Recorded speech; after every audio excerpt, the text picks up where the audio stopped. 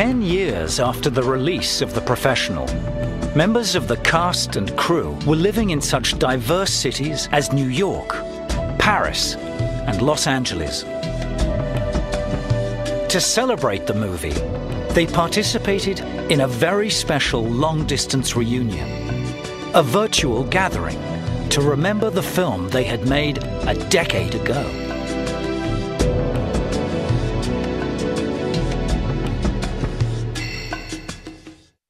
Our reunion begins in Paris, France, the home of the professional's producer, Patrice Ledoux. Ledoux recalls how Leon, the film's central character, was first inspired by the role Jean Reno had played in the director's previous film, La Femme Nikita.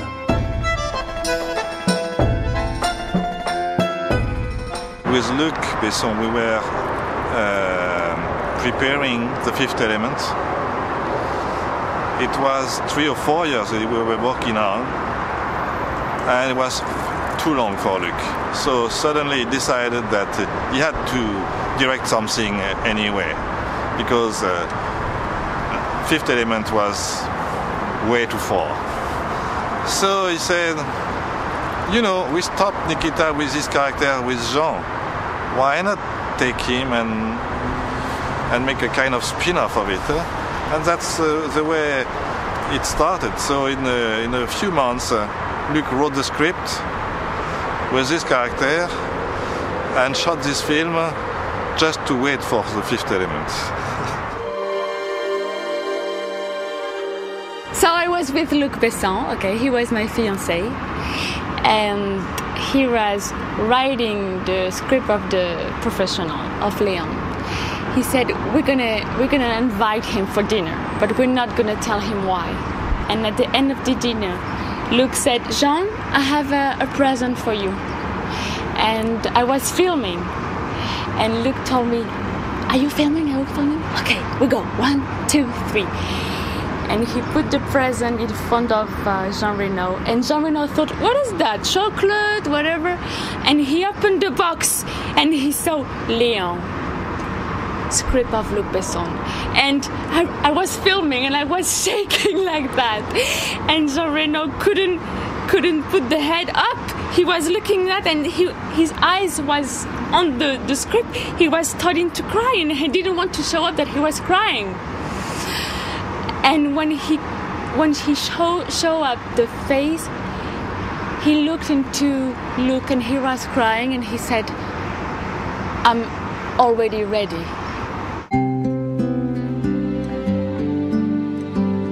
When I first read the script for The Professional, I knew that my greatest challenge was going to be trying to find a little girl who could play Mathilda. Um, Gary Oldman and Jean Reno were both set before Luc came to me with the project. And after reading that script, I just knew that that movie was nothing without the casting of Mathilda being perfect. I don't think Luc fully understood that at first, how big a challenge it was going to be to find parents who would let their 11 year old daughter play this part. So I started bringing in actresses. Luc was in Paris, and I was in New York. And I was doing it all on videotape and sending videotapes to him in Europe. And the first wave of girls were all 15 to 17 who I prayed one of them would be diminutive enough to believably be adolescent. And Luc called from Paris fuming, saying, You send me the girls who know sex. I want the girl who thinks she knows sex, but doesn't know sex. So I brought Natalie Portman in. He said to her, I want you to imagine your whole family. I have to use the French accent because that's what. I want you to imagine your whole family is shot. Your father is dead in the living room. Your mother is in the bathtub. Your teenage sister, she's uh, dead on the floor. And your baby brother is killed under the bed. And after he said the thing about her baby brother, Natalie just started weeping. If you couldn't stand them, why are you crying? Because they killed my brother. What the hell did he do? His four years old. He never used to cry, just used to sit next to me and cuddle. And we knew then that there was no other choice. No other candidate could have done what Natalie did.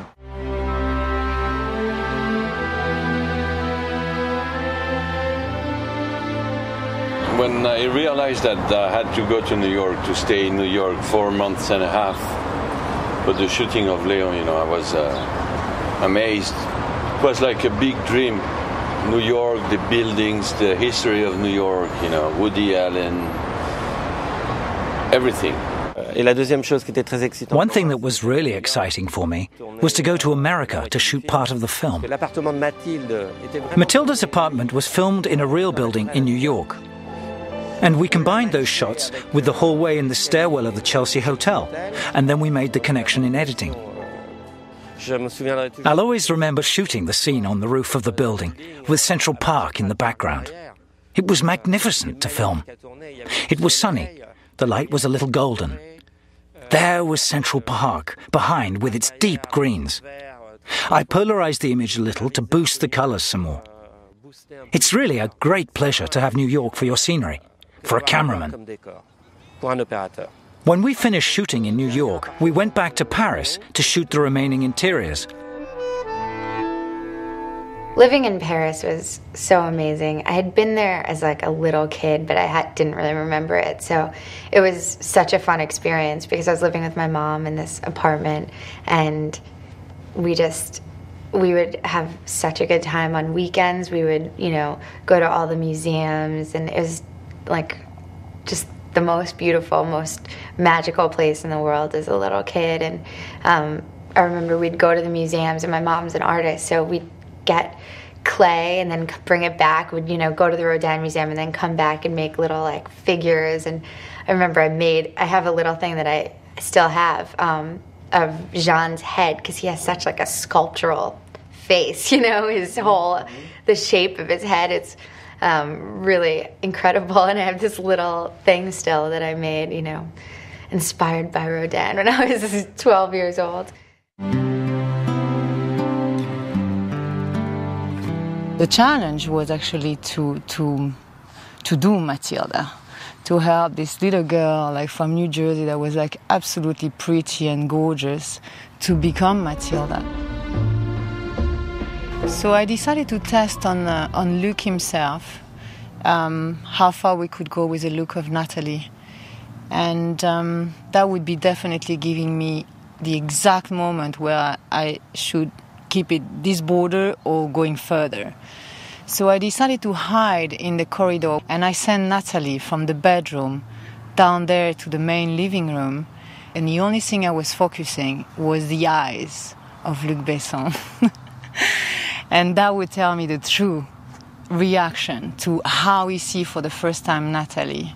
And that was beautiful. I have to say that was just beautiful. The way Luc was glowing, it was just like perfect for me because it was the answer I was looking for.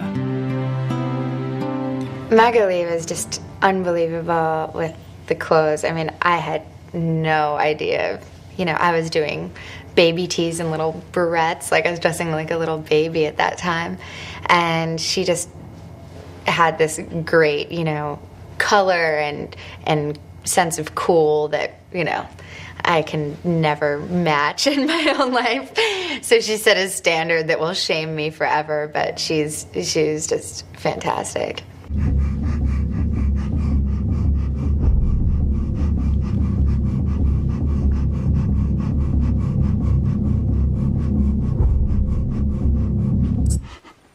In the scene with the knife, um, I mean, for me, that was the acting challenge of, you know, of my life up to that point. Uh, and I, I, I, just tried to make it as simple as I possibly could. One moment, please. I'll connect you with the detective. All right. No.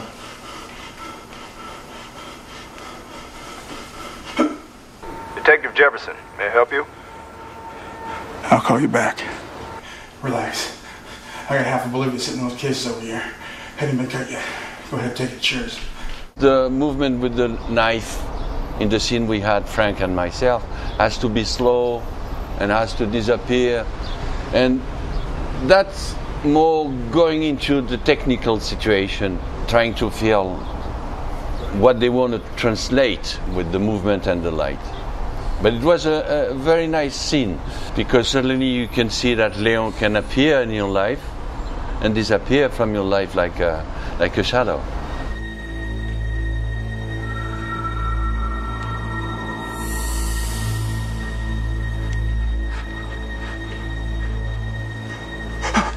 The, one thing that I look at, it, that after that, there's a sigh that I do when he leaves that I always wish that I could have done better. I listen to it over and over and I say, I'm almost there, but not quite. So if you're listening, Luc, give me another film so I can get that sigh right. Jesus.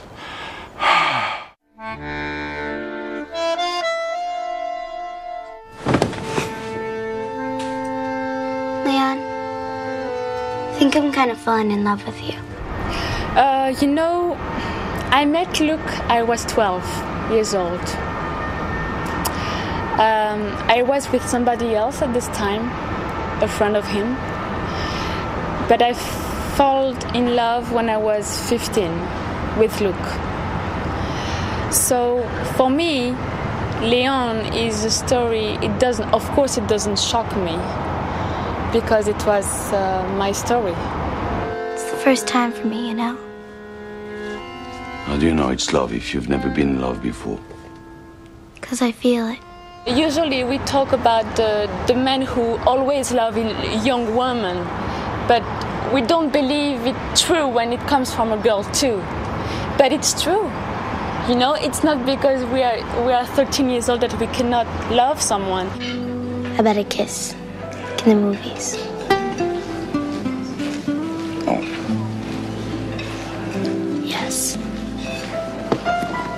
I know that it has been a, a problem for the United States, a problem, let's say, a question. It's not for us, you know, we, uh, the relationship between uh, this man, adult, and this 11 years old girl didn't shock for us because first of all, on the shooting, when Jean Reno was asking Luc, but what it is, what is my character? I don't understand. And Luc says, you are 14, you are 14, you are 14 years old. That's it. What you doing? I'm gonna kiss you. But Attila, stop, please. Come on, just a kiss. Jean was directed in a way where he had to be persuaded that he was 14 years old, she was 11, so it was a perfect match, you know. And in our mentality, it's not a problem.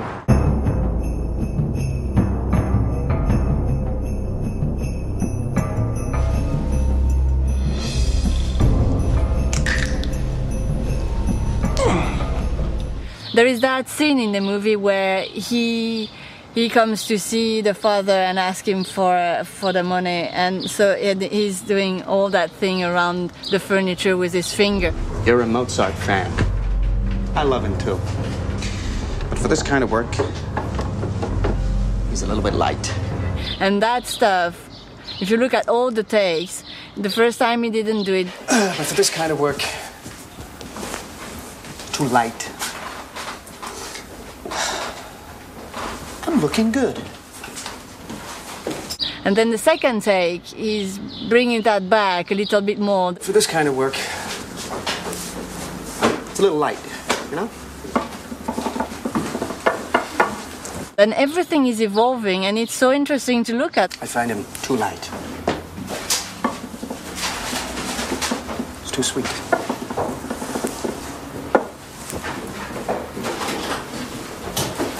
Like choosing in between the best and the better, and it's you never have anything you want to trash. Uh, it's it's incredible.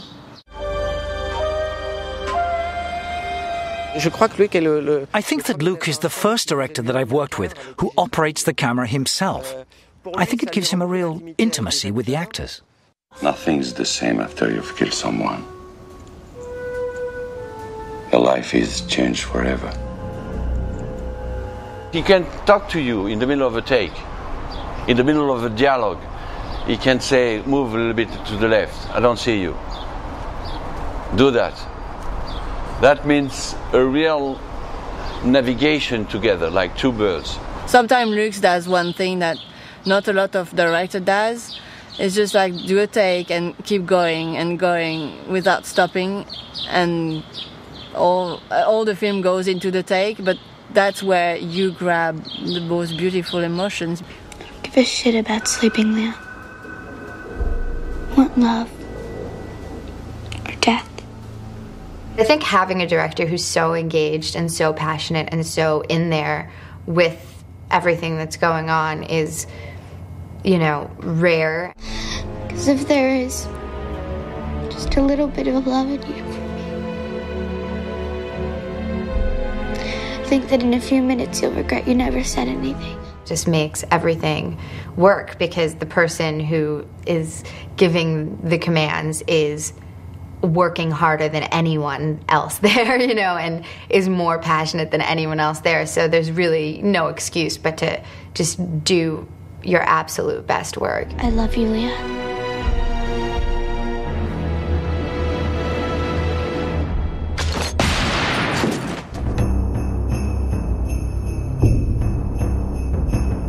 Bathroom was very tiny.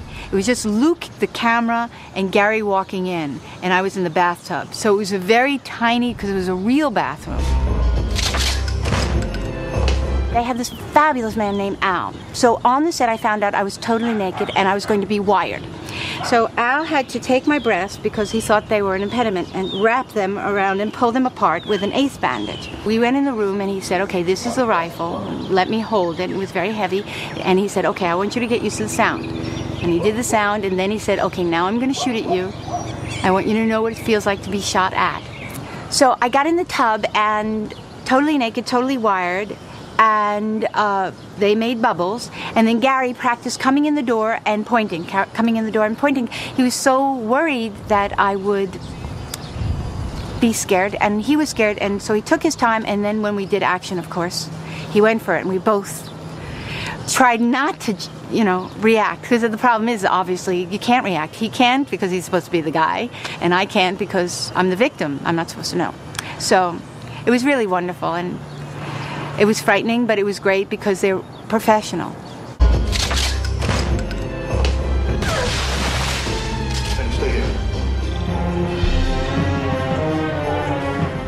Luc wanted to do a shot of Gary Oldman emptying his gun in me in frustration and sort of just clicking an empty gun into my back. Click, click, click, click, click, click. Now, there's big issues about gun safety, and, and when you put a gun that close to a person's back, you got to make sure the gun is empty. So they had gone through the motions, the gun was empty. Gary made sure the gun was empty. They were going to stick the gun at my back. Close up, cameras moving down. You know, Luc was holding the camera as well, holding it, coming down on me, seeing the gun right up against my back, and you see, and I'm laying there dead, you know, holding my breath. Click, click, click, boom! The gun goes off. Gary throws the gun up in the air. He goes, What the fuck? Because he's like, he thought he shot me. Now I'm not moving because Luc doesn't say cut. So I'm not moving, and I'm there and they're thinking, Mike, Mike, are you all right? But I still don't hear cut, so I'm still not moving. Mike, Mike, are you all right? Cut, cut, cut. Now, thinking about it, I bet you Luc did that on purpose. I bet you he wanted to see that reaction, and I wouldn't put it past him. I wouldn't be surprised. Dan, what are you doing? What are, what are you doing? He's dead. But he ruined my suit. I, I know, but he's dead.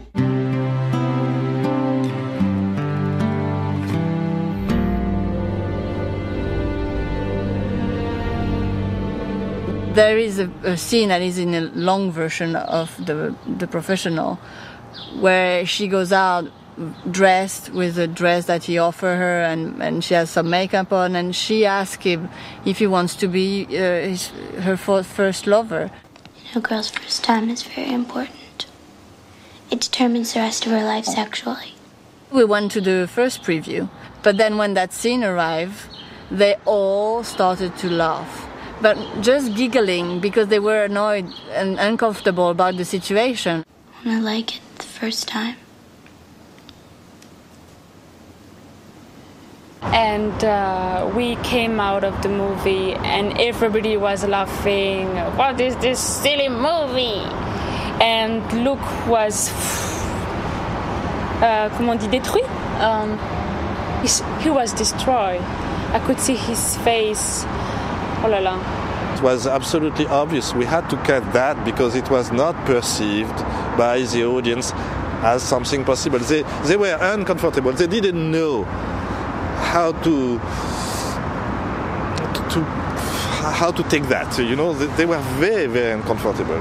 So we shot, we, we cut 14 minutes, I think, something like that, and uh, and the next test was great.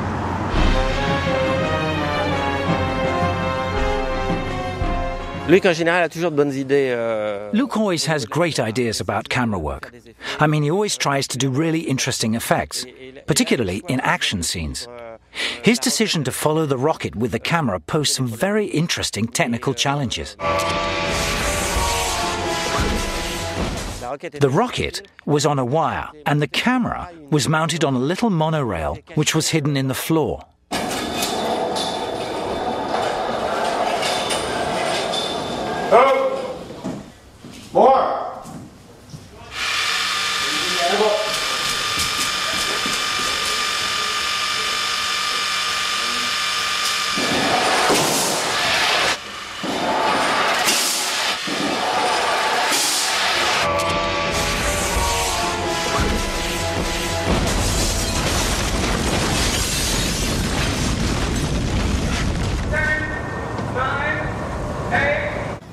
Euh, For the kind of explosion that we filmed in Spanish Harlem, and I actually don't think we would have been able to do that in a more upscale neighborhood in New York, we used, if I remember correctly, about five or six cameras, which Luc placed himself, one after the other. Les unes après les autres. We evacuated part of the street, and then we did the explosion.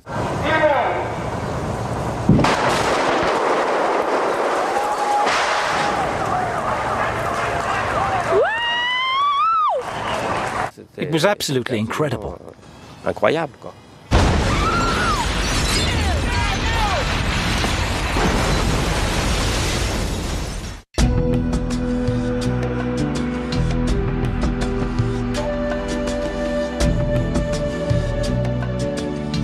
Among the films I, I produced with Luc, uh,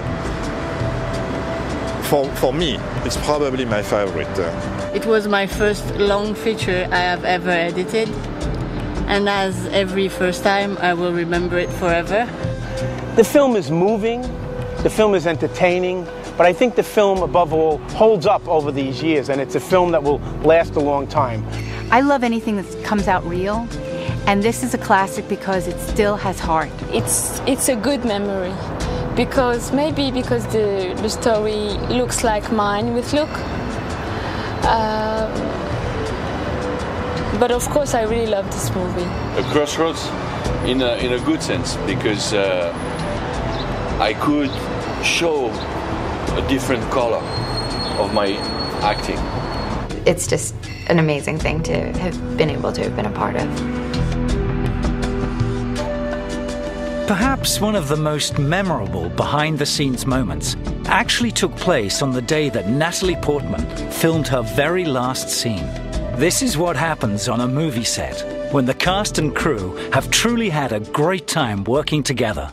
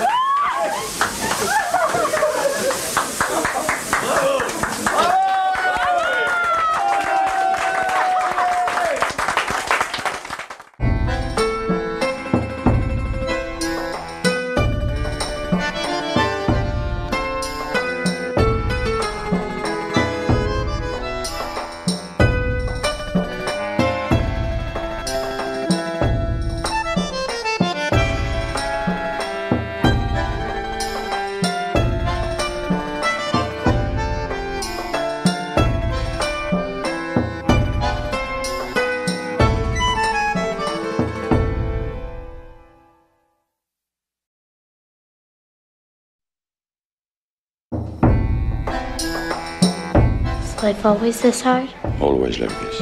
As portrayed by French actor Jean Reno, Leon is a unique and complex character. A brutal killer with the emotional core of a child. How are you today? An expert with a weapon, but painfully naive in his personal relationships. Creating Leon would be one of the most challenging tasks of Reno's career. But his lifelong quest to master the craft of acting had prepared Reno perfectly for this remarkable role.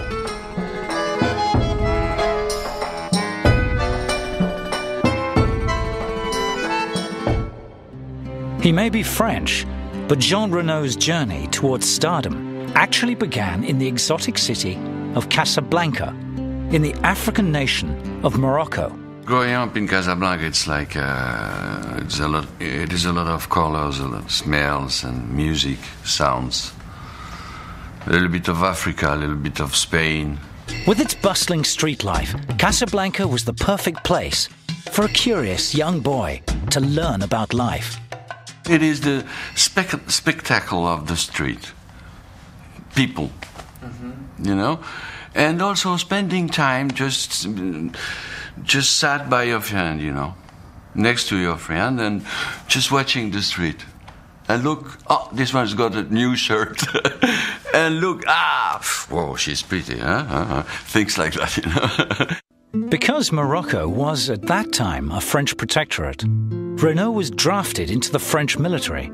I was uh, 20 years old when I was drafted. I didn't consider my, myself as French at the beginning. No, no. It came uh, after the military uh, service I did in Germany, because they had at that time French forces in Germany. That's the con- continuity of the Second World War. So they sent me in, in, in, Germany for my military army, and then I became more um, involved in the French way of thinking, you know. By the time he completed his military service, Reno had decided to pursue acting. He moved to Paris to study theatre, but after only two years, he decided that only professional work would help him grow as a performer. I think that introspection is very good, but has to stop at one moment. Otherwise, it is only somebody who is searching in front of a camera. And I understand. I understand everything. But in, for me, I search and I, one moment I stop searching because then I have to express and act. And no more questions. Only feeling the situations and, and uh, at the moments. For a few years, Reno worked in the French theatre. And in 1981, he met the director of The Professional. Although at that time, the young filmmaker was just about to make his first short film. When you see Besson for the first time, uh, or you're against him or you're with him. This is a very strange situation. At that time, he was 22 years old, and so he was giving you a lot of vibrations. And, uh, and uh, it is like somebody can give you the faith. He will say, We will go to China by foot, and you will say, Yes, no problem. When do we start? And you don't know why you're saying that. Reno's commitment to the work impressed the young director so much that he cast him in every film he made from that point on. L'Avant-Dernier, Le Dernier Combat, Subway, and The Big Blue. Reno's performance as a macho Italian diver in The Big Blue brought him instant fame throughout Europe. Then you start thinking, because fame is coming, how to translate and is it. Uh, is it real or is it dust? But Reno's new status as a sex symbol took him off guard. And for almost a year, the dedicated actor got caught up in the fast lane. You lose your taste because you have too much food, too much wine, too much women, too much people looking at you, too much compliments, too much hotel rooms, you know and then uh, you stop working and what who i am so you need to be back to yourself. So I needed 18 months. But Reno wouldn't get his 18 months. Back in Paris, his friend and collaborator was preparing to direct La Femme Nikita. Luc said that, Luc Besson. You'll do, you'll do Victor le nettoyeur, the cleaner, Victor the cleaner, and I'm not going to give you the script. I'll give you the lines to, just in the morning. And you're not going to be dressed, you're going to be dressed just in the morning. I said, okay. you want to fight? we will fight. Reno's brief but powerful performance as Victor gave the director an idea for a new film. And three years later, he was invited to the filmmaker's house in Paris for dinner. I came to his house and I, I, was with my second wife at that time. And he gave me a gift with paper and everything. Very nice. By the end of the dinner, he said, That's for you. Leon. The gift was the script for Leon, or The Professional, as it is known in the United States. Reno started to explore the mindsets of the lonely killer. He knew that to balance Leon's brutality with his childlike tenderness, he had to understand Leon's perception of the world around him. I don't watch TV, I don't hear music. I'm, I just preserve myself. I don't know. I'm not analyzing uh, Leon, but if you analyze him, his relationship with the parents, etc., etc., yeah, of course. He's somebody who's lost his parents for sure. An immigrant, also. A little bit slow, in fact, in his emotions and his reactions. Means also, if you're slow, what we're going to put inside? Intelligence, words, or emotions? Huh. You're not smart, so no brain. Means not a lot of words, so you have to put a lot of emotions.